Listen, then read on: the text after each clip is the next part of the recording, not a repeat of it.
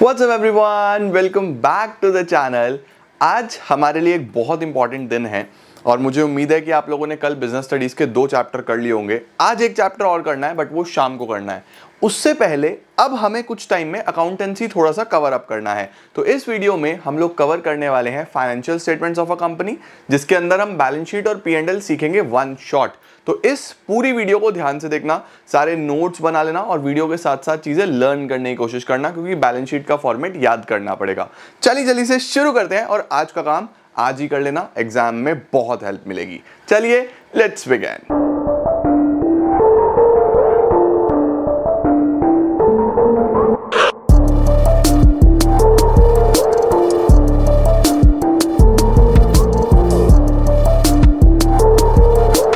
सबसे पहले आपको यह समझना है कि हमारे पास पार्ट बी 20 मार्क्स कैरी करेगा। और इसके अंदर आपके पास चार चैप्टर्स हैं जो आपको पढ़ने हैं। सबसे पहला जो हमारे पास आता है, वो आता है financial statements of companies financial statements of companies दूसरा आता है हमारे पास फिनेंशियल स्टेटमेंट एनालिसिस तीसरा आता है हमारे पास अकाउंटिंग रेशोज रेशोज में याद रखना, जो आपके पास जेनविन रेशोज हैं, वो तो है ही। इस साल तीन रेशोज और ऐड हुई हैं, वो आपको सेपरेटली करनी है। तो इस पर खास तौर पे ध्यान देना, तीन रेशोज न्यू ऐड हुई हैं, वो करनी है ओके और उसके बाद लास्ट आ जाएगा आपका कैश फ्लो स्टेटमेंट तो हम लोगों को ये चार चैप्टर्स पढ़ने हैं और हमारा बुक प्रिपेयर हो जाएगा। तो इस बुक के अंदर बहुत सारी चीज़ें हम पढ़ने वाले हैं। Financial statements of a company specifically as per schedule three हमें फाइनेंशियल स्टेटमेंट्स याद रखने हैं शेड्यूल थ्री के अनुसार। वो मैं अभी बताऊँगा आपको कैसे कैसे हैं। इसके बाद एनालिसिस कंप्लीटली थियोरी का चैप्टर है, फटाफट हो जाएगा। ये दो चैप्टर्स हैं जो आपके मेहनत लेंगे बट इन दोनों का जो बेस है, वो ये है। तो पहले बेसिक स्ट्रांग होने ज़रूरी है। एक बार आपका ये हो गया तो आप इन पे आ सकते हो। यूजुअली हम लोग क्या करते हैं कि इस पर बहुत कम टाइम लगाते हैं। बट इस बार मैं ये चाहता हूँ कि आप लोग सबसे ज़्यादा टाइम इसी पे लगाओ, क्योंकि आपको बैलेंस शीट का पूरा नॉलेज होना चाहिए कि कौन सी चीज़ कहाँ आती है। Statement of profit and loss का पूरा नॉलेज होना चाहिए, कौन सी चीज़ कहाँ आती है। तो शुरू करते हैं। सबसे पहले मेरे साथ साथ नोट्स बना के चलना। पहले तो इसका स्क्रीन ले लो। एक बार आपने ये ले लिया तो आपकी चीज़ें हो जाएँगी। डन अब सबसे पहले हम बात करते हैं फाइनेंशियल स्टेटमेंट्स की। Financial statements as per section two subsection forty ये याद करना है आप लोगों को सेक्शन याद करना है ये, ठीक है? वन मार्कर के लिए इंपॉर्टेंट है। तो financial statements of a companies की हम बात कर रहे हैं। आप लोग अभी तक सोल प्रोपराइटर के फाइनेंशियल्स बना चुके हो। आप लोग पार्टनरशिप फर्म्स के फाइनेंशियल्स बनाना सीख चुके हो। वही capital account P and L appropriation account balance sheet अभी हम किसके बारे में बात करने वाले हैं? फाइनेंशियल स्टेटमेंट्स वो भी किसकी? कंपनीज़ की। कोई भी कंपनी अपनी फाइनेंशियल्स कैसे बनाता है? कोई भी कंपनी अपने एंड रिजल्ट्स कैसे बनाता है? Financial statements are the end results कि हमारा पूरे साल में हुआ क्या है? वो कौन दिखाता है? फाइनेंशियल स्टेटमेंट्स दिखाते हैं। तो कोई भी कंपनी के अगर मुझे फाइनेंशियल स्टेटमेंट्स देखने हो तो वो कैसे बनते हैं भाई? कौन बनाता है? किस तरीके से बनाए जाते हैं? उसका क्या कोई अलग प्रोसीजर है? तो याद रखेंगे हमारे पास जितने भी फाइनेंशियल स्टेटमेंट्स हैं कंपनीज़ के, वो एज पर कंपनीज़ एक्ट बनाए जाएँगे। मतलब कि जो भी उसका एक प्रेस्क्राइब्ड फॉर्मेट है, वो कंपनीज़ एक्ट में गिवन है और कंपनीज़ एक्ट के अकॉर्डिंगली बनाया जाएगा। कंपनीज़ एक्ट के accordingly section two sub section forty के अनुसार ये फाइनेंशियल स्टेटमेंट्स बनाए जाएँगे। ठीक है? अब इसके बाद फाइनेंशियल स्टेटमेंट्स में आता क्या क्या है? फाइनेंशियल स्टेटमेंट्स में याद रखेंगे section two sub section forty के अकॉर्डिंगली पाँच चीज़ें आती हैं। देखो, हम लोग को यूजुअली बस दो ही पता होती हैं बट पाँच चीज़ें आती हैं वन मार्कर के लिए एक एक चीज़ इंपॉर्टेंट है। सबसे पहले क्या आता है? सबसे पहले हमारे पास आता है एक बैलेंस शीट सबसे पहले जो हम इसमें बनाते हैं, वो होता है हमारे पास बैलेंस शीट उसके बाद हमारे पास आता है statement of profit and loss statement of profit and loss आ जाएगा उसके बाद फाइनेंशियल स्टेटमेंट्स में उसके बाद हमारे पास आता है statement of changes in equity इसकी अगर रिक्वायरमेंट हो, ये तभी बनता है statement of changes in equity उसके बाद हमारे पास आते हैं कैश फ्लो स्टेटमेंट्स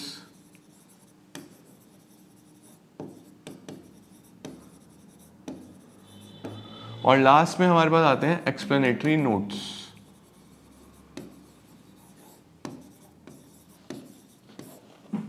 तो हमारे पास पाँच चीज़ें फाइनेंशियल स्टेटमेंट्स ऑफ़ कंपनीज़ में आती हैं। सबसे पहला आपको पता लग गया बैलेंस शीट फिर statement of profit and loss फिर statement of change in equity cash flow statement और एक्सप्लेनेटरी नोट्स तो पाँच चीज़ें हमारे पास फाइनेंशियल स्टेटमेंट्स में आएँगी, ठीक है? अब आपको कुछ चीज़ें और याद रखनी है कि जो हमारे पास बैलेंस शीट है, वो बनेगा as part one of schedule three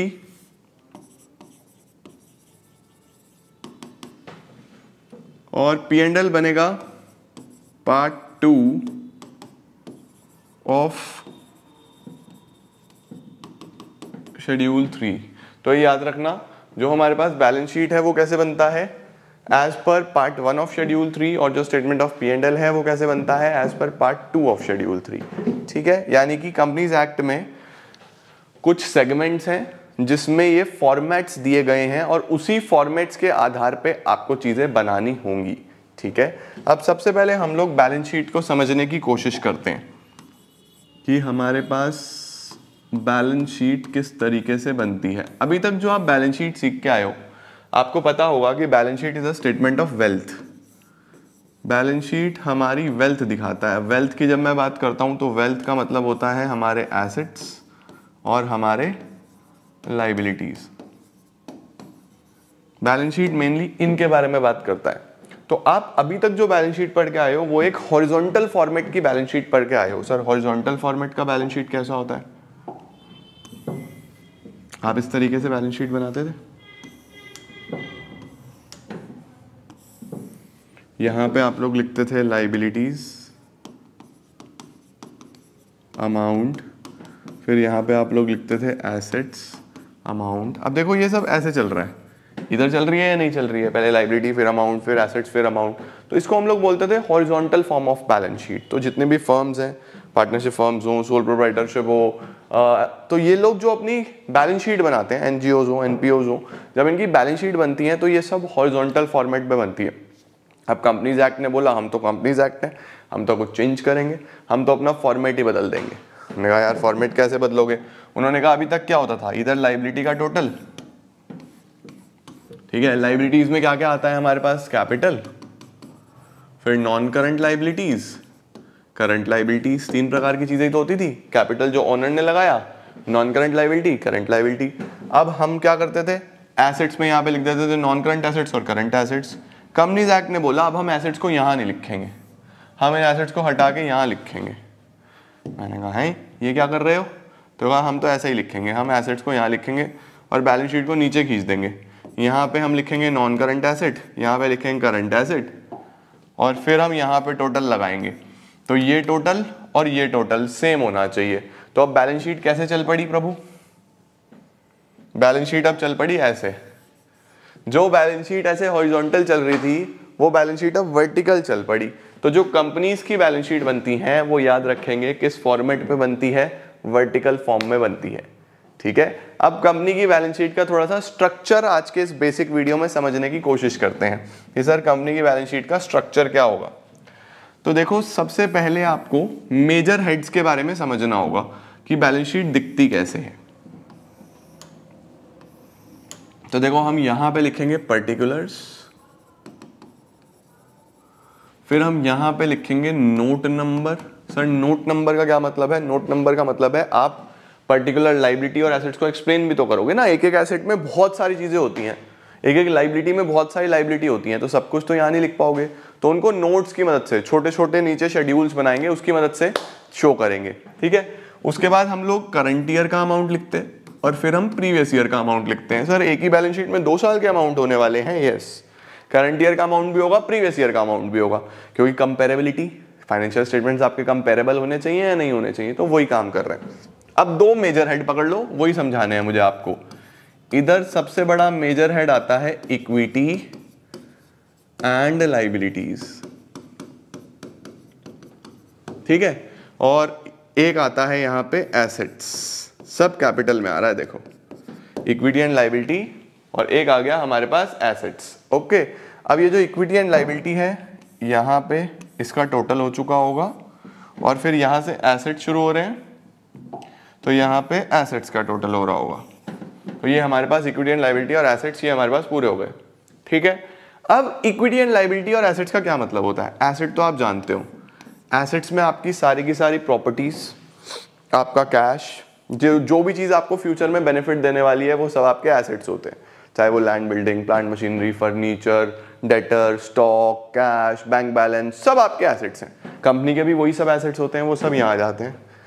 अब कंपनी की भी लाइबिलिटीज होती हैं। लाइबिलिटी कितने प्रकार की होती है सर लाइबिलिटी दो प्रकार की होती है, यहाँ पे ध्यान रखना। दो प्रकार की कैसे होती है? एक तो वो पैसा होता है जो बाहर से बोरो करा है। किसी फ्रेंड से लोन ले लिया, किसी बैंक से लोन ले लिया, उधार में माल खरीद लिया जिसका पैसा देना है क्रेडिटर कोई हमारा और बिल पेबल इस तरीके की कोई और लाइबिलिटी तो बाहर वालों का जब भी पैसा देना होता है तो वो आउटसाइडर्स लाइबिलिटीज होती हैं। और एक होता है कि बिज़नेस ने ओनर से ही लोन लिया है। बिज़नेस ने ओनर से लोन लिया, क्योंकि ओनर अलग है और बिज़नेस अलग है। कंपनी के केस में प्रोपराइटर नहीं होता। कंपनी के केस में शेयर होल्डर होता है। पैसा लगाने वाला कौन होता है? शेयर होल्डर जिसने कंपनी में शेयर्स खरीदे हैं। कंपनी का हिस्सा खरीदा है पैसा देके। तो कंपनी में जो पैसा लगाने वाला होता है, वो शेयर होल्डर होता है। और वो जो पैसा लगाता है, उसको हम कैपिटल बोलते हैं। शेयर होल्डर ने जो पैसा लगाया, उसको हम कैपिटल बोलते हैं। ठीक है? तो उस पर्टिकुलर पैसे को जो शेयर होल्डर ने लगाया, जिसको हम कैपिटल बोलते हैं, उसी का दूसरा नाम होता है इक्विटी कैपिटल का ही दूसरा नाम क्या होता है? इक्विटी तो यहाँ से आप समझो कि हमारे पास यहाँ पे एक तो कैपिटल आने वाला है और एक आउटसाइडर्स लाइबिलिटीज आने वाली है। सर आउटसाइडर्स लाइबिलिटीज कौन कौन सी होंगी? आउटसाइडर लाइबिलिटी वही जो बाहर वालों से लेनी है, अभी बताई मैंने आपको। तो अब इक्विटी एंड लाइबिलिटी हमारा मेजर हेड है, पहला, और एसेट्स हमारा दूसरा मेजर हेड है, ठीक है? इसके अंदर अब हमारे पास सबसे पहले आता है शेयर होल्डर्स फंड्स सबसे पहले हमारे पास क्या आता है? Share holders funds sir share holders funds का क्या मतलब है? शेयर होल्डर्स फंड्स का मतलब है कि वो पैसा जो शेयर होल्डर्स ने लगाया है, उसको हम क्या बोल देते हैं? शेयर होल्डर्स फंड्स ठीक है? जो पैसा शेयर होल्डर्स ने लगा दिया, उसको शेयर होल्डर्स फंड्स बोल दिया। शेयर होल्डर्स फंड्स में कैपिटल आता है, दो प्रकार की कैपिटल होती है equity share capital preference share capital दोनों आ जाएँगी। शेयर होल्डर्स फंड्स में ही कुछ सेविंग्स आ जाती हैं। सेविंग्स कैसी? सेविंग्स जो आपने पैसा जोड़ के रखा हुआ है, उसको हम सेविंग्स बोलते हैं, ठीक है? उसके बाद शेयर होल्डर्स फंड्स में ही कुछ और तरीके की आइटम्स आती हैं, वो मैं अभी आपको डिटेल में बैलेंस शीट डिस्कस करूँगा तो बताऊँगा। तो ये सबसे पहले शेयर होल्डर्स फंड्स आते हैं। फिर हमारे पास आती है यहाँ पे non current liabilities non current liabilities and then we have current liabilities sir अब इसको कैसे हम डिफाइन करें कि कौन सी लाइबिलिटी नॉन करंट लाइबिलिटी है और कौन सी लाइबिलिटी करंट लाइबिलिटी है?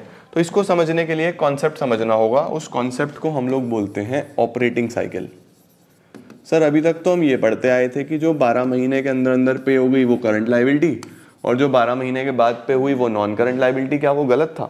वो गलत नहीं था। वो भी ठीक है, लेकिन अब आप थोड़ा सा और मेच्योर हो चुके हो, अब आप थोड़ा और डिटेल में अकाउंट्स को जानते हो तो आपको थोड़ा और अलग नज़रिए से अकाउंट्स को पढ़ना होगा। तो हम लोग क्या पढ़ रहे हैं अब? ऑपरेटिंग साइकिल के बारे में पढ़ने वाले हैं। सर, होता क्या है ऑपरेटिंग साइकिल आओ मैं आपको समझाता हूँ कि ऑपरेटिंग साइकिल होता क्या है। सबसे पहले ये पकड़ो कि आपके पास सबसे पहला क्राइटेरिया तो 12 महीने वाला क्राइटेरिया होता है। 12 मंथ्स वाला क्राइटेरिया होता है। ठीक है? कि कोई भी लाइबिलिटी अगर 12 महीने के अंदर पे हो रही है तो वो हमारी करंट लाइबिलिटी है। अगर आपने 12 महीने के अंदर अंदर पेमेंट कर दिया ना, जैसे सपोज़ क्रेडिटर है क्रेडिटर का पैसा देना है। आपने आठ महीने में दे दिया, नौ महीने में दे दिया तो वो operating cycle sorry twelve months के अंदर अंदर आ गया। उसको मैं करंट लाइबिलिटी बोल दूँगा। लेकिन कई बार ऐसा होता है कि आप 12 महीने के बाद पेमेंट कर रहे हो 13 महीने में 14 महीने में तो पहले हम डायरेक्टली उसको नॉन करंट लाइबिलिटी बोल देते थे। लेकिन अब ऐसा नहीं करना। अब ऐसा क्यों नहीं करना? क्योंकि आपके सामने एक नया कॉन्सेप्ट आ गया है, जिसको हम ऑपरेटिंग साइकिल बोलते हैं। सर ऑपरेटिंग साइकिल है क्या? देखो, कभी भी आप बिज़नेस करते हो तो बिज़नेस की शुरुआत पैसे से होती है। आप पैसा लगाना शुरू करोगे, माल खरीदोगे, बनाओगे, बेचोगे, फिर उधार में बेचोगे तो पैसा वापस भी आएगा। तो पैसा लगना शुरू हो जाता है, उस पैसा लगने से पैसा वापस आने का जो टाइम पीरियड है, उसको हम ऑपरेटिंग साइकिल बोलते हैं। पैसा लगना शुरू हुआ, वहाँ से घूम के जो पैसा वापस आ गया, उसको हम क्या बोलते हैं? ऑपरेटिंग साइकिल तो व्हाट इज़ ऑपरेटिंग साइकिल पैसा लगने से लेके पैसा वापस आने तक का टाइम पीरियड ऑपरेटिंग साइकिल है। अब ये बिज़नेस टू बिज़नेस अलग अलग हो सकता है। कुछ बिजनेसेस में बहुत छोटा ऑपरेटिंग साइकिल होता है, दो चार दिन का, दस दिन का, पंद्रह दिन का। कुछ बिजनेसेस में महीनों का होता है, कुछ बिजनेसेस में सालों का होता है। तो आप पहले बारह महीना चेक करोगे। बारह महीने के बाद आप एक कंडीशन और चेक करोगे, वो क्या है हमारे पास? ऑपरेटिंग साइकिल अब सर, इसको एग्ज़ाम्पल की मदद से समझाओ। देखो, मैं आपको एग्ज़ाम्पल की मदद से समझाता हूँ। एग्ज़ाम्पल के तौर पे हम ले लेते हैं पेमेंट पीरियड और इधर ले लेता हूँ मैं ऑपरेटिंग साइकिल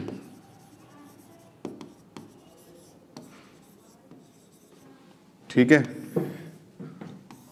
एक, दो, तीन, चार, पाँच एग्जाम्पल्स ले लेंगे हम इस टेबल से, आपको समझाने की कोशिश करते सबसे पहले मैंने देखा कि कोई ऐसी लाइबिलिटी है जिसका पेमेंट पीरियड आठ महीने आ रहा है। अब इसका पेमेंट पीरियड आठ महीने आ गया तो चेक करो क्या ये बारह महीने के अंदर अंदर हो गया? हाँ सर, बारह महीने के अंदर हो गया, खत्म बात। जैसे ही ये बारह महीने के अंदर अंदर हुआ, ये करंट लाइबिलिटी हो गया। अब इसका ऑपरेटिंग साइकिल चाहे कितना भी हो, कोई फ़र्क नहीं पड़ता। अगर बारह महीने के अंदर हो गया तो वो करंट लाइबिलिटी है। टेंशन लेनी ही नहीं। ठीक है? दूसरा आया, सर, ये तेरह महीने में पेमेंट हो रहा है। थर्टीन मंथ्स में हो रहा है। क्या सर, ये बारह महीने के अंदर हो गया? नहीं, बारह में तो हुआ नहीं। तो अब इसको नॉन करंट मत लिख देना। अब आप इसकी ऑपरेटिंग साइकिल चेक करो। इसकी ऑपरेटिंग साइकिल कितनी है? फिर हमने ऑपरेटिंग साइकिल चेक करी कि ऑपरेटिंग साइकिल तो बारह महीने की थी। क्या ये बारह के अंदर हुआ? आंसर आ रहा है नो तो दोनों ही कंडीशन नहीं हुई। ना तो बारह में हो रहा और ना ही ऑपरेटिंग साइकिल में हो रहा। तो ये क्या बन गया? नॉन करंट लाइबिलिटी बन गया। तो इस तरीके से आपको फटाफट से चीज़ें करती जानी है। ठीक है? चलो अब अगला देखते हैं। सपोज़ यहाँ पे पेमेंट हुआ चौदह महीने में। क्या ये बारह महीने के अंदर अंदर हो गया? नहीं, बारह महीने के अंदर तो नहीं हुआ। क्या ये ऑपरेटिंग साइकिल में हो गया? मैंने चेक करा, इसका ऑपरेटिंग साइकिल पंद्रह महीने का था। एग्ज़ाम में गिवन होगा, अगर होगा तो। पंद्रह महीने का था। क्या ये इसके अंदर हो गया? यस ऑपरेटिंग साइकिल के अंदर हो गया ना? तो ये भी करंट लाइबिलिटी है। अब देखो फोर्टीन मंथ्स बारह से ज़्यादा है। लेकिन इसकी ऑपरेटिंग साइकिल बड़ी है भाई। ऑपरेटिंग साइकिल एक बिज़नेस साइकिल के अंदर अंदर हो गया है। तो ये करंट लाइबिलिटी है। अच्छा अब ये 15 मंथ्स और ऑपरेटिंग साइकिल 18 महीने की है। तो हमने चेक करा, क्या ये 12 के अंदर हो गया? No no. क्या ये ऑपरेटिंग साइकिल के अंदर हो गया? Yes yes. तो ये भी हमारी करंट लाइबिलिटी अब देखते हैं। पेमेंट 15 महीने में हुआ ऑपरेटिंग साइकिल इसकी 8 महीने की है। क्या ये 12 महीने के अंदर अंदर हो गया? नहीं. क्या ये ऑपरेटिंग साइकिल के अंदर अंदर हो गया? नहीं. तो ये नॉन करंट लाइबिलिटी तो यानी पहली चीज़ तो आप ये चेक करो, क्या 12 महीने के अंदर हो रहा है? 12 के अंदर हो गया तो ऑपरेटिंग साइकिल को इग्नोर कर दो, बिल्कुल बिल्कुल इग्नोर कर दो। अगर ये 12 महीने के अंदर अंदर हो गया ना, जैसे ये, बस एक ही हुआ बारह महीने के अंदर अंदर तो ऑपरेटिंग साइकिल से मतलब ही नहीं है सीधा सीधा करंट लाइबिलिटी लेकिन अगर बारह में नहीं हो रहा तो ऑपरेटिंग साइकिल चेक कर लो, ठीक है? अब मुझे आपको होमवर्क में बताना है। पेमेंट पीरियड ऑपरेटिंग साइकिल चार एग्जांपल्स देता हूँ मैं आप लोगों को। बारह महीने, तेरह महीने, ग्यारह महीने, आठ महीने, सोलह महीने, चौदह महीने, पंद्रह महीने अट्ठारह महीने। तो मुझे आपको चारों का बताना है। फ़र्स्ट सेकंड थर्ड फोर्थ कि कौन सा करंट लाइबिलिटी है, कौन सा करंट लाइबिलिटी नहीं है। बस चेक करना क्या वो क्या वो बारह महीने के अंदर पे हो गया? अगर आंसर आ रहा है यस तो सीधा सीधा उसको करंट लाइबिलिटी डाल दो। अगर आंसर आ रहा है नो तो अभी कुछ डिसाइड मत करो, अब चेक करो ऑपरेटिंग साइकिल चेक करो ऑपरेटिंग साइकिल फिर चेक करो क्या वो ऑपरेटिंग साइकिल में पे हो गया? क्या वो ऑपरेटिंग साइकिल में पे हो गया? अगर हाँ तो करंट लाइबिलिटी अगर ना तो नॉन करंट लाइबिलिटी ये सीधा सीधा सिस्टम है, ठीक है? इस सिस्टम का याद रखना, इसकी कोई ज़रूरत नहीं है। स्ट्रेट फॉरवर्ड ये एक चार्ट देख लेना बस। क्या वो 12 महीने के अंदर पे हो गया? अगर हो गया तो करंट लाइबिलिटी नहीं हुआ तो ऑपरेटिंग साइकिल चेक करो। ऑपरेटिंग साइकिल में पे हो गया यस तो करंट लाइबिलिटी नहीं तो नॉन करंट लाइबिलिटी ठीक है? ऐसे हमारे पास नॉन करंट लाइबिलिटी और करंट लाइबिलिटी आ जाते हैं। सिमिलरली ऐसे ही नॉन करंट एसेट्स और करंट एसेट्स ऐसे ही नॉन करंट एसेट्स और करंट एसेट्स बस फ़र्क क्या होता है? ये आपको पे करने वाले होते हैं और यहाँ आपको बेनिफिट्स मिलते हैं।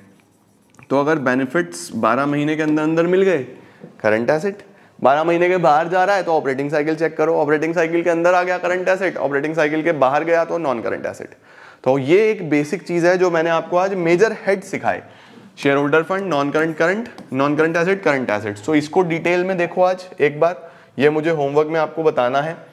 ओके okay, और अब हम कंपनी का बैलेंस शीट समझने की कोशिश करते हैं कि एक कंपनी का बैलेंस शीट वर्टिकल फॉर्मेट में कैसा दिखना चाहिए। सबसे पहले तो ये चीज़ अपने माइंड में सेट रखो कि कंपनी का balance sheet as per companies act 2013 prescribed format में बनेगा।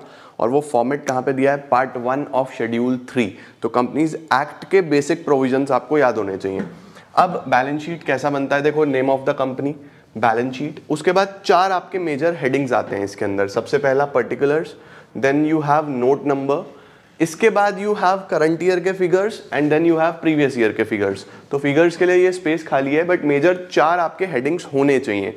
Particulars note number current year और प्रीवियस ईयर ये मैंने आपको लास्ट क्लास में ही बता दिया था. अब जब हम लाइबिलिटी साइड से शुरू करते हैं तो लाइबिलिटी में आपका जो मेजर हेड है वो है equity and liabilities equity and liabilities में इक्विटी आपका ऑनर्स का पैसा हो गया। लाइबिलिटीज आपके आउटसाइडर्स जिनको आपने पैसा देना है, जो आपने प्रॉमिस करा हुआ है, जो पैसा आपको पे करने तो क्या क्या चीज़ें से शुरुआत होती है। अब हम लोग अगर बैलेंस शीट की लाइबिलिटी साइड को एक जगह रखें तो इस तरीके से कुछ आपको रिफ्लेक्ट करेगा। सबसे पहला जो मेजर हेड आता है, वो आता है share holders funds share holders funds में आपकी तीन चीज़ें आएँगी। सबसे पहले शेयर कैपिटल शेयर कैपिटल का मतलब जितने भी लोगों ने आपके शेयर्स खरीदे हुए हैं, जो भी आपके शेयर होल्डर्स हैं। तो शेयर होल्डर्स का पैसा शेयर कैपिटल में आएगा। अब शेयर कैपिटल में दो प्रकार की शेयर्स होते हैं। एक होते हैं हमारे इक्विटी शेयर्स और एक होते हैं आपके प्रेफरेंस शेयर्स तो इक्विटी और प्रेफरेंस शेयर्स दोनों ही इसके अंदर आ जाएगी आपकी शेयर कैपिटल में। उसके बाद जितने भी कंपनी के पास रिजर्व्स हैं चाहे वो जनरल रिज़र्व हो वर्कमैन कंपनसेशन रिज़र्व हो, कोई कॉन्टिजेंसी रिज़र्व हो, और उसके साथ प्रॉफिट एंड लॉस का बैलेंस जो करंट ईयर का प्रॉफिट आया है या लॉस आया है, वो सारा का सारा आपको रिज़र्व एंड सरप्लस में रिफ्लेक्ट करेगा। सिक्योरिटी प्रीमियम रिज़र्व हो, कोई भी रिज़र्व कोई भी प्रॉफिट एंड लॉस का बैलेंस वो सब यहाँ पे रिफ्लेक्ट करेगा। तो शेयर कैपिटल प्रॉफिट का बैलेंस उसके बाद तीसरी चीज़ आती है money received against share warrants अब ये शेयर वारंट क्या है? शेयर वारंट एक ऐसा डॉक्यूमेंट है जो फ़िलहाल तो शेयर नहीं है बट किसी फ्यूचर की स्पेसिफाइड डेट पे वो शेयर्स में कन्वर्ट हो सकता है। लाइक like, सपोज़ आपने कंपनी में पैसा इन्वेस्ट करने की सोची बट शेयर्स अभी अवेलेबल नहीं है तो कंपनी की तरफ़ से आपको वारंट इशू करा जाएगा कि वारंट आज तो शेयर नहीं है बट किसी स्पेसिफिक फ्यूचर डेट पे आप इसको शेयर्स में कन्वर्ट कर सकते हो। तो ये जब शेयर्स में कन्वर्ट होगा तो इसी शेयर कैपिटल में रिफ्लेक्ट करेगा। बट अभी बींग शेयर नहीं है तो इसका अलग हेड है कि money received against share warrants but इससे आपसे क्वेश्चन नहीं पूछा जाएगा। आपको जो मेजर याद रखना है शेयर होल्डर्स फंड्स में, वो शेयर कैपिटल और रिज़र्व एंड सरप्लस ही है। उसके बाद हम लोग देखते हैं हमारा share application money pending allotment application money pending allotment का मतलब ये होता है कि आपको शेयर होल्डर से पैसा आ गया है और अभी आपने शेयर्स अलॉट नहीं करे हैं। मतलब एप्लीकेशन तो आ गया। बट अभी शेयर्स अलॉट नहीं हुए इन बिटवीन आपका बैलेंस शीट डेट आ गया तो आप बैलेंस शीट बनाओगे, उस पैसे को कहीं ना कहीं तो दिखाओगे। तो शेयर कैपिटल में ना लिख के एक अलग हेड बनाया, जिसको लिखा गया share application money pending allotment इससे भी आपको एग्ज़ाम में कोई क्वेश्चन पूछा नहीं जाएगा। तो अब, अभी तक आपको share holders fund share capital reserve and surplus major ये तैयार करना है।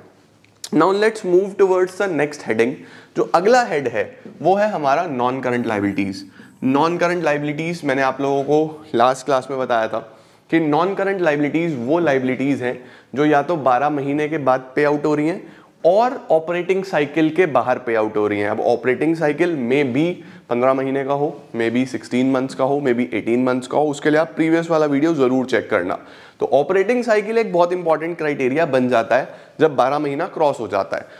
उस सिनारियो में यहाँ पे चार चीज़ें हैं, अगर आपको इसको याद करना है तो इसका मेमोरी टेक्निक है डॉल यहाँ से चार चीज़ें deferred tax liability other long term liability long term provisions long term borrowings तो हमारे पास जब हम लाइबिलिटीज की बात करते हैं तो चार चीज़ें आ जाती हैं doll defer tax liability other long term liabilities short long term provisions long term borrowings let start with long term borrowings long term borrowings के साथ अगर हम शुरुआत करें तो बोरोइंग्स का मतलब आपने बोरो करा है पैसा। हो सकता है बैंक लोन हो। हो सकता है पब्लिक से लिया हो तो उसको डिवेंचर बोल देते हैं। डिवेंचर भी यहाँ पे आ जाएगा। हो सकता है बॉन्ड्स हो। तो इस तरीके का कोई भी नाम लिखा हुआ है बैंक लोन लिखा हुआ है बॉन्ड लिखा हुआ है डिवेंचर लिखा हुआ है, ये सारी की सारी चीज़ें लॉन्ग टर्म बोरोइंग्स में आ जाती हैं। करेक्ट इनका पेमेंट पीरियड ऑब्वियसली बात है ऑपरेटिंग साइकिल से ज़्यादा होगा, बारह महीने से ज़्यादा होगा। इसके बाद हमारे पास आ रहा है defer tax liabilities defer tax liabilities ऐसा ही आपको एक है डेफर टैक्स एसेट्स में भी मिलेगा। इसमें आपको ये चीज़ समझनी है कि हमारे पास अकाउंटिंग इनकम और टैक्सेबल इनकम दो अलग अलग चीज़ें हो जाती हैं। अकाउंटिंग इनकम और टैक्सेबल इनकम दो अलग अलग चीज़ हो जाती हैं। जब हम अकाउंट्स बनाते हैं तो अकाउंटिंग में कुछ अलग प्रोविजंस हैं। बट जो हमें टैक्स पे करना होता है, वो पे करना होता है as per income tax act तो अकाउंटिंग इनकम और टैक्सेबल इनकम में डिफरेंस हो जाता है। उस डिफरेंस आने की वजह से कई बार जब कंपनीज़ अपना टैक्स पे करती हैं तो कुछ टैक्स उनका पे करना रह जाता है। क्योंकि आपने जो टैक्स पे करा, वो अकाउंटिंग के अनुसार, आपके अनुसार करा बट होना चाहिए था टैक्सेबल इनकम के अकॉर्डिंगली तो कई बार आपकी कुछ लाइबिलिटीज पे होनी रह जाती हैं, जो आप इन फ्यूचर पे आउट करते हो। तो अगर वो लाइबिलिटी आ रही है due to difference between accounting income and taxable income कि आपने पे कर दिया कम, होना चाहिए था ज़्यादा। तो अब जो टैक्स की लाइबिलिटी खड़ी हो गई, उसको हम डेफर टैक्स लाइबिलिटी बोलते हैं। सिमिलरली अगर आपने टैक्स ज़्यादा पे कर दिया, होना चाहिए था कम तो वहाँ पे डेफर्ड टैक्स एसेट खड़ा हो जाता है। तो कभी भी अकाउंटिंग इनकम और टैक्सेबल इनकम के बीच में डिफरेंस आएगा।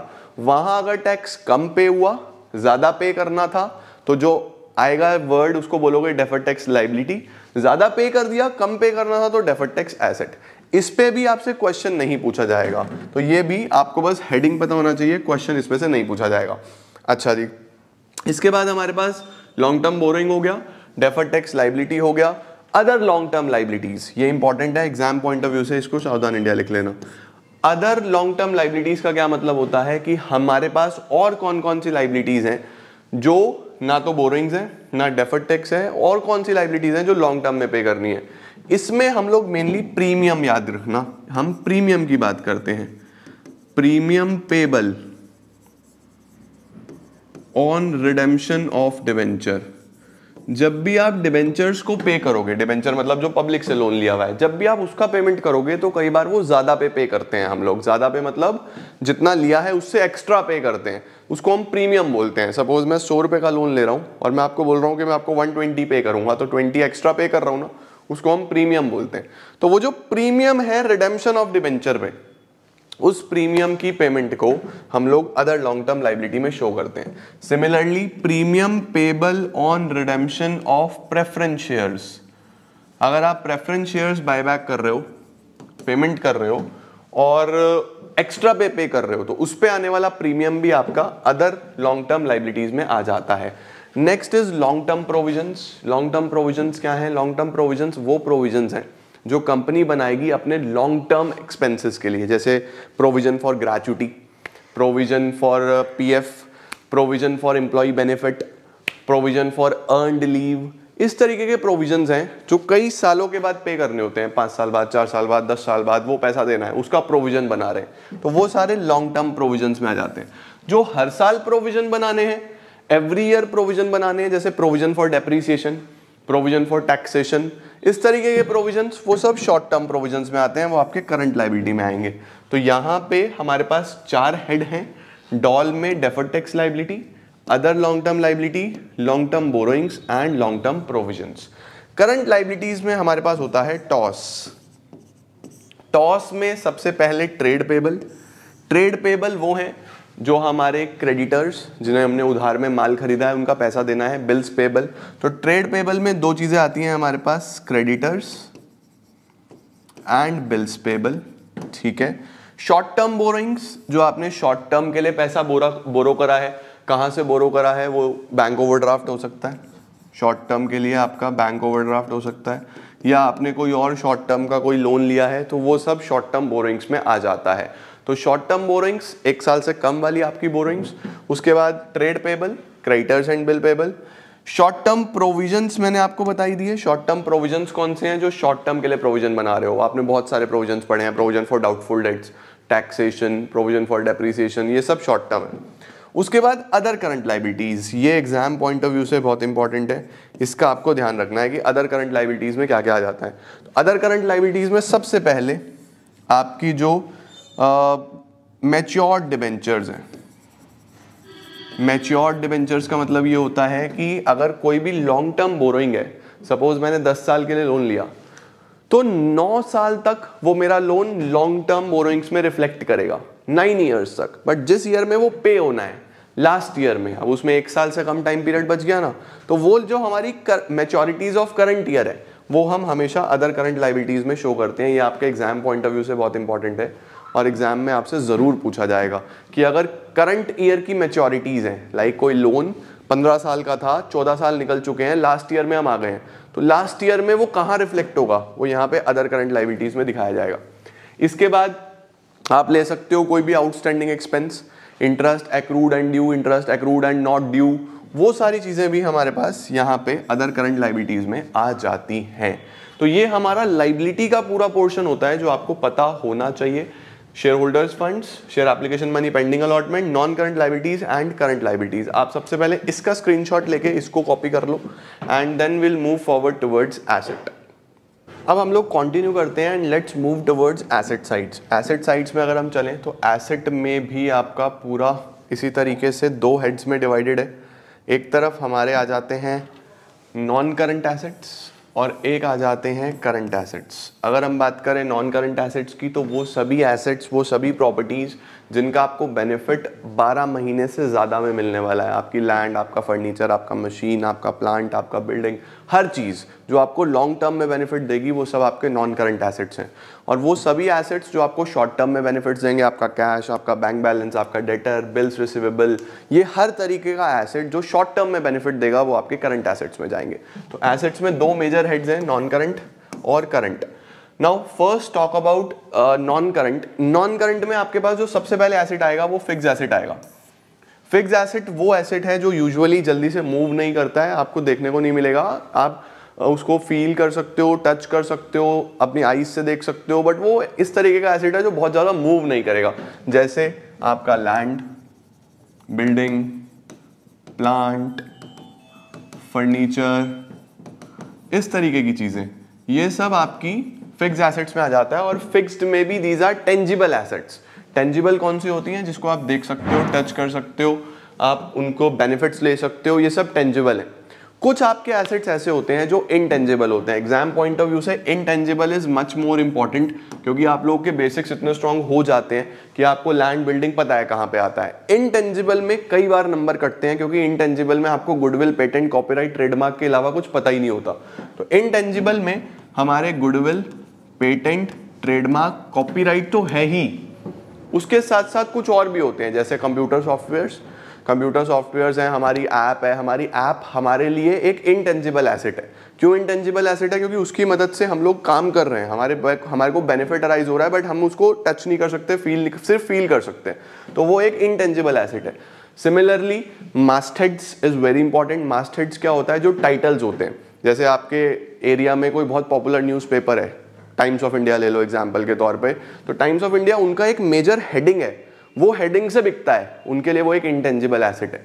सिमिलरली इसी तरीके से आपके टाइटल्स रेसिपीज़ फॉर्मूलाज वो सब आपके इंटेंजिबल एसेट्स होते हैं तो ये याद रहे। अब गुडविल आपको पता ही है, किसी भी बिज़नेस की रेपुटेशन किसी भी बिज़नेस की प्रोबेबिलिटी की old customer will resort to old place आपका कोई ओल्ड कस्टमर है और आपकी दुकान पे दोबारा आ रहा है, दोबारा तभी आएगा अगर आपकी गुडविल होगी। जिसकी गुडविल नहीं है, उसकी दुकान पे कस्टमर दोबारा जाता ही नहीं है। पेटेंट की अगर हम बात करें तो पेटेंट किसी भी पर्टिकुलर एक्सपेरिमेंट का हो सकता है, पेटेंट कोई भी नए फॉर्मूला का हो सकता है। ट्रेडमार्क यूजुअली सिंबल्स की हम बात करते हैं तो उसमें ट्रेडमार्क वर्डमार्क होता है। कॉपीराइट्स कॉपीराइट्स आपके रिटर्न मटेरियल्स के होते हैं। जैसे आपने बुक्स कॉपीराइट करा ली या आपने कोई नया आर्टिकल लिखा, वो कॉपीराइट करा लिया तो ये बेसिकली चारों में डिफरेंस होता है। इसके बाद अगर आपका कोई एसेट है, जो अभी अंडर कंस्ट्रक्शन है, अभी आपका एसेट बन रहा है, अभी वो रेडी नहीं है तो आप उसको टेंजिबल एसेट में तो नहीं लिखोगे। भले ही टेंजिबल है बट अभी रेडी तो नहीं है ना, अभी आपको वो इतना बेनिफिट नहीं दे रहा। तो उसके लिए अलग हेड है कैपिटल वर्क इन प्रोग्रेस तो जब वो बन के तैयार हो जाएगा तो वो टेंजिबल एसेट्स में चला जाएगा। जब तक वो अंडर कंस्ट्रक्शन है बैलेंस शीट में तो शो होगा, पैसा लग रहा है उस पर तो कुछ ना कुछ तो बन रहा होगा ना डबल एंट्री सिस्टम फॉलो करते हो। एक डेबिट तो दूसरा क्रेडिट होगा ही होगा। तो पैसा जा रहा है तो भाई कहाँ जा रहा है? अब एसेट तो बन के तैयार नहीं हुआ। जब तैयार हो जाएगा तो टेंजिबल में आएगा। जब तक नहीं हुआ, तब तक capital work in progress similarly अगर कोई इंटेंजिबल एसेट अभी बन रहा है रेडी नहीं हुआ, उसमें टाइम लग रहा है रेडी हो रहा है धीरे धीरे तो उसको हम लोग बोलते हैं इंटेंजिबल एसेट अंडर डेवलपमेंट जब हो जाएगा तो इंटेंजिबल एसिड्स में चला जाएगा। तो अगर कोई टेंजिबल एसेट अभी प्रोग्रेस में है capital work in progress intangible asset अभी प्रोग्रेस में है तो इंटेंजिबल एसेट अंडर डेवलपमेंट उसके बाद आपके पास आते हैं नॉन करंट इन्वेस्टमेंट अगर आपने कहीं पे इन्वेस्ट करा है लॉन्ग टर्म के लिए लॉन्ग टर्म के लिए अगर आपने इन्वेस्ट करा तो वो आपके नॉन करंट इन्वेस्टमेंट्स में आ जाता है। अब याद रखना नॉन करंट इन्वेस्टमेंट्स दो प्रकार की होती हैं। एक होती है हमारे पास ट्रेड इन्वेस्टमेंट ट्रेड इन्वेस्टमेंट और एक होती है अदर इन्वेस्टमेंट ट्रेड इन्वेस्टमेंट क्या होता है? ट्रेड इन्वेस्टमेंट होता है जो आपने अपने बिज़नेस के बेनिफिट के लिए कोई इन्वेस्टमेंट करी है। एक बिज़नेस ओनर ने कोई दूसरा बिज़नेस खरीद लिया, इन्वेस्टमेंट करा, बट अपने खुद के बेनिफिट के लिए करा तो वो सब ट्रेड इन्वेस्टमेंट्स में आ जाता है। अगर आपने नॉर्मली वैसे ही कोई इक्विटी में डिवेंचर्स में, किसी सिक्योरिटी में इन्वेस्ट कर दिया है लॉन्ग टर्म के लिए तो वो अदर इन्वेस्टमेंट्स में आ जाता है। उसके बाद डेफर टैक्स एसेट्स, ये मैं आपको पहले ही बता चुका हूँ। This is also a difference uh, this arises due to the difference between taxable income and accounting income. दोनों में difference होता है तो ये arise होता है। दोनों में difference है और आपको लग रहा है कि यार ज़्यादा टैक्स पे कर दिया बेनिफिट हमें मिलेगा इससे तो वो डेफर टैक्स एसेट में आ जाता है ठीक है? उसके बाद long term loans and advances long term loans and advances का मतलब है कि आपने लॉन्ग टर्म के लिए लोन दिए हुए हैं। लॉन्ग टर्म बोरोइंग्स में आपने पैसा बोरो करा हुआ था। यहाँ पे लोन दिया हुआ है आपने। तो इसको हम क्या बोलते हैं? Long term loans and advances उसके बाद हमारे पास आ जाता है other non current assets other non current assets में आप लोग ये मान सकते हो कि कोई ऐसा बीआर है, कोई ऐसा बिल रिसीवेबल है, जिसका मेचोरिटी आफ्टर ट्वेल्व मंथ्स हो रहा है। B R maturity after twelve months ऐसा कोई बी आर है, ऐसा कोई अनअमोर्टाइज एक्सपेंस है, जो अभी आपने अपनी बुक्स में रिफ्लेक्ट नहीं करा है। वो सारी चीज़ें आपके पास non current other non current assets में आ जाती हैं।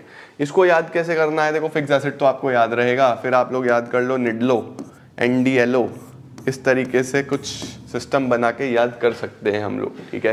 तो सबसे पहले आपके पास शेयर होल्डर्स फंड्स आ गया। शेयर होल्डर्स फंड्स में share capital reserves and surplus money received against share warrants उसके बाद share application money pending allotment then you have non current liability जिसमें doll defer tax liability other long term liabilities long term borrowings long term provisions फिर आपके पास current liability आ गया, जिसमें toss trade payable other current liability short term borrowing short term provisions उसके बाद assets आ गया। एसेट्स में आप लोग non current assets non current assets में सबसे पहले फिक्स एसेट्स जिसमें tangible intangible capital work in progress intangible assets under development then non current investments फिर D L O N D L O D defer tax assets उसके बाद L से आपका long term loans and advances और O से आपका other non current assets फिर हमारे पास करंट एसेट्स आ जाते हैं। करंट एसेट्स को याद करने का मेमोरी टेक्निक है TISCO T I S C C O TISCO में क्या क्या आ जाता है आपके पास? सबसे पहले टी की अगर मैं बात करूँ तो ट्रेड रिसिवेबल्स ट्रेड रिसिवेबल्स में आपके mainly B R bill receivable जो आपके तीन महीने के अंदर अंदर जिनसे पैसा लेना है प्लस आपके डेटर्स डेटर कौन है जिनको उधार में आपने माल बेचा हुआ है? वो आपके डेटर्स हैं, जिनसे पैसा रिसीव करना है। तो हमारे पास यहाँ पे बी आर एंड डेटर्स इसमें आ जाते हैं। Then we have inventories inventory वाला part is very important from exam point of view साउदान India. Inventory में आपकी छः चीज़ें आ जाती हैं। इन्वेंट्री में आपका रॉ मटेरियल फिर वर्क इन प्रोग्रेस उसके बाद finished goods raw material work in progress finished goods उसके बाद आपका लूज टूल्स याद रखना loose tools then we have stores and then we have spares तो छह चीज़ें हमारे पास आ जाती हैं raw material work in progress finished goods उसके बाद loose tools stores and spares तो ये सब आपका इन्वेंट्री में आ जाता है। तो टिस्को में ट्रेड रिसिवेबल्स इन्वेंट्री, उसके बाद एस से आपका short term loans and advances अगर आपने कोई लोन शॉर्ट टर्म के लिए दिया है तो वो आपका short term loans and advances में आता है। लॉन्ग टर्म के लिए दिया है तो long term loans and advances short term के लिए दिया है तो short term loans and advances उसके बाद C cash and cash equivalents cash और कैश के जैसी चीज़ें, जैसे कैश जैसे बैंक बैलेंस सिमिलरली कोई मार्केटेबल सिक्योरिटी है, वो सब इसके अंदर आ जाती हैं। तो ये कैश एंड कैश इक्विवेलेंट्स का पार्ट हो जाता है हमारे पास। उसके बाद करंट इन्वेस्टमेंट्स तो आप जानते ही हो करंट इन्वेस्टमेंट्स यानी कि वो इन्वेस्टमेंट्स जिसका maturity period less than 12 months है शॉर्ट टर्म के लिए आपने पैसा इन्वेस्ट करा हुआ है तो वो करंट इन्वेस्टमेंट्स में आ जाता है। और लास्ट बचता है हमारे पास other current assets other current assets में क्या होता है? कोई इनकम रिसीव्ड इन एडवांस है। नहीं इनकम रिसीव्ड इन एडवांस तो आपकी लाइबिलिटी में चली जाएगी अदर करंट में आएगा प्रीपेड आपने कोई एडवांस में पैसा पे करा है। प्रीपेड एक्सपेंसेस हो गए आपके। और इनकम में मैं बोल सकता हूँ अनअर्नड अनअर्नड इनकम का मतलब आपने कमा ली, लेकिन अभी तक रिसीव नहीं हुई। वो भी आपकी ये सारी के सारी अदर करंट एसेट्स में चला जाता है। तो अदर करंट एसेट्स में आपके पास ये सारी चीज़ें रिफ्लेक्ट करने लगेगी। तो आई होप आपको एसेट्स में जो प्रॉब्लम है, वो यहाँ से पूरी बैलेंस शीट हो जाती है। मैंने आपको पूरी बैलेंस शीट के ट्रिक्स भी बता दिए, पूरी बैलेंस शीट के एग्जाम्पल्स भी बता दिए। तो हमारा फाइनेंशियल स्टेटमेंट्स में बैलेंस शीट वाला पार्ट खत्म हो चुका है। इसके बाद will move forward towards profit and loss वाला पार्ट अब आपने स्टेटमेंट ऑफ़ वेल्थ तो समझ लिया, यानी कि एक बैलेंस शीट तो आपने समझ लिया। स्टेटमेंट ऑफ़ फाइनेंशियल पोजीशन भी हम लोग बोलते हैं कि कौन कौन से एसेट्स कौन कौन से लाइबिलिटीज कहाँ कहाँ पे आते हैं, वो सब आपने समझा। आज क्या हम स्टेटमेंट ऑफ़ प्रॉफिटेबिलिटी के बारे में बात कर लें? आज क्या हम प्रॉफिट्स के बारे में बात कर लें? तो जब भी प्रॉफिट्स की बात होगी तो सबसे इंपॉर्टेंट स्टेटमेंट जो आता है, वो आता है statement of profit and loss यहाँ पे ट्रेडिंग पी एंड एल नहीं है, यहाँ पे statement of profit and loss है। वो सभी चीज़ें जो ट्रेडिंग पी एंड एल में आती थी, यहाँ पे इस पर्टिकुलर स्टेटमेंट में आएगी। तो statement of profit and loss को समझने की कोशिश करते हैं बट बिफोर दैट कुछ छोटी छोटी चीज़ें। जैसे बैलेंस शीट का फॉर्मेट कहाँ प्रेस्क्राइब था? Part one of schedule three P and L का फॉर्मेट कहाँ पे प्रेस्क्राइब्ड है? Part two of schedule three तो ये कुछ चीज़ें वन मार्कर्स के लिए छोटी छोटी आपको पता होनी चाहिए। तो part one and part two of schedule three इसको हम बोलते हैं statement of profit and loss ठीक है? अब इसके बाद हमारे पास यहाँ पे क्या क्या चीज़ें आती हैं? देखो, जो statement of profit and loss है, इसका एक बेसिक फॉर्मेट वही है particular note number current year previous year तो पर्टिकुलर नोट नंबर और कंपेरेबिलिटी के लिए करंट ईयर प्रीवियस ईयर दो साल के फिगर्स हमें चाहिए होते हैं। मूविंग फॉरवर्ड हमारे पास जो बेसिक फॉर्मेट की शुरुआत होती है, वो होती है रेवेन्यू फ्रॉम ऑपरेशन से। रेवेन्यू फ्रॉम ऑपरेशंस यानी वो पैसा जो आपके पास आएगा from your operations from your main activities from your sale तो यहाँ पे रेवेन्यू फ्रॉम ऑपरेशन बेसिकली हमारे पास क्या होता है? सेल्स माइनस सेल्स रिटर्न यानी कि आपकी नेट सेल्स इसमें आ जाती है रेवेन्यू फ्रॉम ऑपरेशन कंपनी के पॉइंट ऑफ़ व्यू से एक आम ऑर्गेनाइजेशन के लिए सेल्स का काम करती है ये। तो सेल्स माइनस सेल्स रिटर्न को ही हम लोग रेवेन्यू फ्रॉम ऑपरेशंस बोलते हैं। इसके बाद एक चीज़ याद रखना स्पेसिफिकली अब लाइक सपोज़ मेरा कपड़े का बिज़नेस है। अब मैं क्या करता हूँ? कपड़ा बेचता हूँ, उसकी सेल होती है, उसको फ्रॉम रेवेन्यू फ्रॉम ऑपरेशन में दिखाता हूँ। मेरा जो कपड़ा है, वो कुछ बड़े बड़े कार्ड्स में पैक होके आता है बड़े बड़े बॉक्सेस में पैक होके आता है, जिसको हम कार्ड्स बोल देते हैं। उन बॉक्सेस को मैं इकट्ठा करता रहता हूँ, करता रहता हूँ, करता रहता हूँ और लास्ट में मैं क्या करता हूँ, उसको बेच देता हूँ। उस बॉक्स को बेच के भी पैसा कमाता हूँ। क्या वो बॉक्सेस तभी हैं क्योंकि मेरा बिज़नेस है, अगर मेरा बिज़नेस ना होता तो वो बॉक्सेस भी ना होते। तो वो जो बॉक्सेस बेच के मेरी इनकम हुई है, उसको भी मैं रेवेन्यू फ्रॉम ऑपरेशन में ही कंसिडर करूँगा, इस पॉइंट का याद रखना। तो इसको हम क्या बोलते हैं? Sale of scrap sale of scrap scrap समझते हो जो आप कबाड़ के दाम में कोई चीज़ बेच रहे हो, कूड़ा में बेच रहे हो आप कोई चीज़। तो बिज़नेस से रिलेटेड कोई ऐसी चीज़ आपको एग्ज़ाम में सीधा सेल ऑफ़ स्क्रैप लिखा आएगा। तो याद रखना sale of scrap is also a part of revenue from operation तो रेवेन्यू फ्रॉम ऑपरेशन में मेन चीज़ें sale of good sale of services minus return अगर कोई है, और सेल ऑफ़ स्क्रैप ये याद रखना, ठीक है? इसके अलावा बिज़नेस में कोई भी इनकम हो रही है rental income commission received interest received कोई भी अदर इनकम हो रही है, कोई बेड डेट्स रिकवर्ड किसी भी प्रकार की इनकम हुई है तो वो सब आपकी अदर इनकम्स में आ जाती है, क्योंकि बिजनेसेस में बहुत सारी अदर इनकम्स भी हो सकती हैं। सिर्फ़ बिज़नेस से तो नहीं होती, लोगों ने मल्टीपल सोर्स ऑफ़ इनकम बनाए होते हैं तो जो उनका मेजर सोर्स से होने वाली इनकम है, उसको तो रेवेन्यू फ्रॉम ऑपरेशन जो बिज़नेस से होनी है। और जो अदर इनकम्स हैं interest received commission received rent received कोई और इनकम बिज़नेस से अलग उसको आप अदर इनकम में लिखोगे। तो यहाँ पे बात हो रही है कमाई की, ठीक है? तो आपने सेल करी, पैसा कमाया अदर इनकम से भी पैसा कमाया। इसको जोड़ दो तो बन जाता है टोटल रेवेन्यू ये वन प्लस टू कर दो टोटल रेवेन्यू बन जाएगा। सपोज़ आपके पास, मैं यहीं पे लिख देता हूँ। सेल है दस लाख की अदर इनकम हो गया दो लाख का तो हम बोल देंगे कि टोटल रेवेन्यू कितना आ गया जी? टोटल रेवेन्यू आ गया बारह लाख। कि ऑर्गेनाइजेशन में जो इनफ्लो है वो बारह लाख रुपए का है। अब उधार में भी हो सकती है तो आप ये मान लो कि टोटल रेवेन्यू है बस, बारह लाख रुपए का, ठीक है? Now let's talk about expenses खर्चों की बात करते हैं। सर, खर्चे कितने हैं? खर्चों को लिख लेते हैं। A B C D E F G तो एक, दो, तीन, चार, पाँच छः सात। सात आपके खर्चे हैं जो आपको फॉर्मेट का पार्ट समझ के लर्न करने हैं। आपको पता होना चाहिए कौन सा खर्चा क्या होता है। अब देखो, सबसे पहला खर्चा कौन सा होता है? सबसे पहला खर्चा होता है जो आपने माल बेचा है, उसको खरीदा भी तो होगा, या फिर उसको बनाया भी तो होगा। अगर मैं एक मैन्युफैक्चरर हूँ तो पहले मैं सामान बनाऊँगा, बाद में बेचूँगा। पहले उसको बनाने में मेरे पैसे लगेंगे, बाद में मैं बेच के पैसा कमाऊँगा। तो जो माल बेचा, उसका कॉस्ट जिसको आप क्लास इलेवन में कॉस्ट ऑफ़ गुड सोल्ड भी बोलते थे वो खर्चा भी तो सबसे पहला मेन खर्चा होता है। तो उसको हम लोग क्या बोलते हैं यहाँ पे? कॉस्ट ऑफ़ मटेरियल कंज्यूम्ड यहाँ पे हम लोग ले लेते हैं कॉस्ट ऑफ़ मटेरियल कंज्यूम्ड जो मटेरियल आपने कंज्यूम कर लिया, उसका कितना खर्चा आया? इसको कैलकुलेट करने का एक फॉर्मूला होता है, जिसको हम बोलते हैं ओपनिंग स्टॉक या ओपनिंग इन्वेंट्री कुछ भी बोल सकते हो। Opening stock plus net purchases minus closing stock तो ये आपसे कैलकुलेट भी करवा सकता है।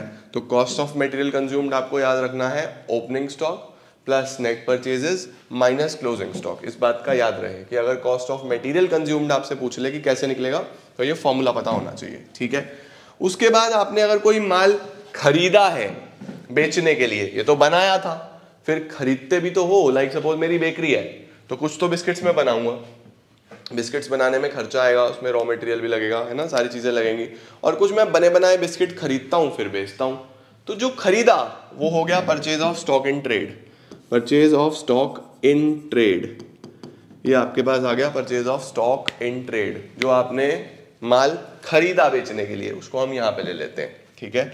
उसके बाद आता है हमारे पास change in inventory next is change in inventory अब चेंज इन इन्वेंट्री में बच्चे इन्वेंट्री में तीन चीज़ें आप हमेशा याद रखना। कौन कौन सी तीन चीज़ें? सबसे पहले हमारे पास जो यहाँ पे आता है वो आता है आ, देखो मटेरियल तो यहाँ आ गया सही? Work in progress finish goods stock in trade तीन चीज़ें यहाँ पे आपको याद रखनी है। कौन कौन सी तीन चीज़ों की इन्वेंट्री देखनी है? Work in progress finish goods और स्टॉक इन ट्रेड तो तीन चीज़ों का हमेशा याद रखना work in progress finish good stock in trade और कैलकुलेट कैसे होता है change in inventory opening stock minus closing stock ये change in inventory find out करने का फॉर्मूला है. Opening stock minus closing stock अब यहाँ पे, क्योंकि मैं इकोनॉमिक्स भी आप लोगों को कराता हूँ तो मैं आपको बता रहा हूँ कि डोंट गेट कंफ्यूज इकोनॉमिक्स में ये closing stock minus opening stock होता है चेंज इन स्टॉक जब आप इको पढ़ते हो तो इकोनॉमिक्स में यही फॉर्मूला क्लोजिंग माइनस ओपनिंग चलता है चेंज इन स्टॉक में। बट अकाउंट्स में ऐसा नहीं चलेगा। अकाउंट्स में क्या चलना है? ओपनिंग माइनस क्लोजिंग इस बात का याद रखना। ठीक है? तो हमारे पास अगर चेंज इन स्टॉक निकालना हो तो ये। तो आपके पास कौन कौन से खर्चे आ गए? सबसे पहले तो मेटीरियल का। कॉस्ट ऑफ़ मेटीरियल कंज्यूम्ड उसके बाद purchase of stock in trade and then we have change in inventory तीन खर्चे आ चुके हैं। ठीक है? तो सबसे पहला मेटीरियल कितना कंज्यूम हो गया? स्टॉक इन ट्रेड कितना माल खरीदा? इन्वेंट्री कितना है आपके पास? फिर इंप्लॉई बेनिफिट एक्सपेंसेस चौथे नंबर पे इंप्लॉइज के खर्चे, सभी खर्चे इंप्लॉइज के। वेजेस सैलरीज इंप्लॉइज को आपने कोई और पैसा दिया, वो सब इंप्लॉई बेनिफिट एक्सपेंसेस में आ जाता है। वहाँ पे अलग अलग करते थे ना वेजेस अलग सैलरीज अलग, यहाँ ऐसा कुछ नहीं है। सब इंप्लॉई बेनिफिट एक्सपेंसेस में डालोगे ठीक है? इसके बाद finance cost sir finance cost में क्या आता है? यहाँ पे बच्चे स्पेसिफिकली याद रखना फाइनेंस कॉस्ट में एक तो इंटरेस्ट और दूसरा बोरोइंग कॉस्ट जैसे फ़ाइल चार्जेस वगैरह ठीक है? बोरोइंग कॉस्ट तो एक तो इंटरेस्ट याद रखना और एक बोरोइंग कॉस्ट याद रखना। अब एक जो सबसे बड़ा कंफ्यूजन जिसमें बच्चों के नंबर कटते हैं वो आता है हमारे पास आ, आप ये समझ लो bank charges yes bank charges सीधा एग्ज़ाम में पूछता है कि बैंक चार्जेस कहाँ पे आएगा। अब बच्चे बैंक को रिलेट करते हैं फाइनेंस के साथ तो सीधा उसको फाइनेंस कॉस्ट में डाल देते हैं। तो ये मत करके आना नंबर कट जाएँगे बच्चे। स्पेसिफिकली यहाँ पे नोट कर लेना bank charges is a part of other expenses bank charges किसका पार्ट है? अदर एक्सपेंसेस का पार्ट है बेटा जी बैंक चार्जेस इसमें नहीं आता। इसमें सिर्फ़ इंटरेस्ट और बोरोइंग कॉस्ट ठीक है? जैसे फ़ाइल चार्जेस वगैरह। उसके बाद डेप्रीसिएशन एंड एमोर्टाइजेशन अगला खर्चा होता है डेप्रीसिएशन कोई भी फिक्स एसेट हो, वो डेप्रीशिएट होता है टेंजिबल अगर इनटेंजिबल है तो उसको हम एमोर्टाइजेशन बोलते हैं। जैसे गुडविल को हम डेप्रीसिएशन नहीं बोलते एमोर्टाइजेशन बोलते हैं। तो फिक्स एसेट्स टेंजिबल के लिए डेप्रीसिएशन इनटेंजिबल के लिए एमोर्टाइजेशन तो हमारे पास यहाँ पे डेप्रिसिएशन एमोर्टाइजेशन दोनों आ जाते हैं, ठीक है? इसके बाद जो भी खर्चे बचे carriage inward carriage outward freight bad debts बहुत सारे खर्चे बच गए। वो सब खर्चे आपके अदर एक्सपेंसेस में आ जाएँगे। Printing stationery telephone audit fees दुनिया भर का खर्चा सब अदर एक्सपेंसेस में डाल दो, ठीक है? तो खर्चे कौन कौन से हुए? सबसे पहले कॉस्ट ऑफ़ मटेरियल कंज्यूम्ड हमारे मटेरियल के लिए, ये आपको निकालना आना चाहिए opening stock plus purchases minus closing stock फिर इसके बाद आपने क्या लिया? Purchase of stock in trade जो माल खरीद के बेचना था। उसके बाद तीसरी चीज़ change in inventory change in inventory के बाद आपने इंप्लॉइज की बात करी इंप्लॉइज बेनिफिट एक्सपेंसेस फिर हमने इंटरेस्ट बोरिंग कॉस्ट फाइनेंस की बात करी फाइनेंस कॉस्ट उसके बाद डेप्रिसिएशन अमोर्टाइजेशन एंड लास्ट में अदर एक्सपेंसेस में सारे खर्चे। अब अगर मैं इन सब खर्चों को जोड़ दूँ, इन सभी खर्चों का सम कर दूँ लेट सपोज़ ये सभी खर्चे आए मेरे छह लाख के। तो इन सबका टोटल यहाँ लिखूँगा, जिसको मैं बोलूँगा टोटल एक्सपेंसेस तो टोटल रेवेन्यू ये ले लिया टोटल एक्सपेंसेस ये ले लिए. 12 लाख में से अगर 6 लाख का खर्चा हो गया तो मेरा प्रॉफिट कितना बना? 6 लाख रुपए बन गए. ठीक है? अगर 12 लाख में से 6 लाख का खर्चा हो गया, हमें क्या करना है? टोटल रेवेन्यू में से टोटल एक्सपेंसेस माइनस कर देने. Total revenue minus total expense करा तो जो बचा, उसको बोलते हैं प्रॉफिट बिफोर टैक्स उसको क्या बोलोगे? प्रॉफिट बिफोर टैक्स उसके बाद इस प्रॉफिट पे जितना भी परसेंट टैक्स होगा, वो लगा देंगे। दस परसेंट बीस परसेंट तीस परसेंट जो भी रेट आपको गिवन होगा, वो हम टैक्स लगा देंगे। तो इस पर्टिकुलर प्रॉफिट पे टैक्स लगता है। सपोज़ मैंने आपको फिगर्स लिए थे। यहाँ पे हमने टोटल रेवेन्यू 12 लाख ले लिया था और ये सब खर्चे आपने 6 लाख के ले लिए थे। तो 12 माइनस छः छः लाख बचे। अब सपोज़ 50 परसेंट का टैक्स है। पचास परसेंट तो इस छह लाख पे लगेगा टैक्स सिक्स लाख पे फिफ्टी परसेंट तीन लाख का टैक्स लग गया। प्रॉफिट आफ्टर टैक्स बचा तीन लाख, ये आप रखोगे। ठीक है? तो प्रॉफिट बिफोर टैक्स फिर टैक्स फिर प्रॉफिट आफ्टर टैक्स आपका आंसर करेक्ट है जी? तो दिस इज़ हाउ आपका पूरा का पूरा प्रॉफिट एंड लॉस स्टेटमेंट बनता है, जो आपको फॉर्मेट स्क्रीनशॉट लो। आई होप आपको समझ में भी आ गया होगा और इसमें चीज़ें क्लियर भी हो गई होंगी। Thank you so much everyone आज के लिए इतना ही। कुछ और इशू आता है तो कमेंट में बताओ। जल्दी सॉल्व करेंगे। Thank you so much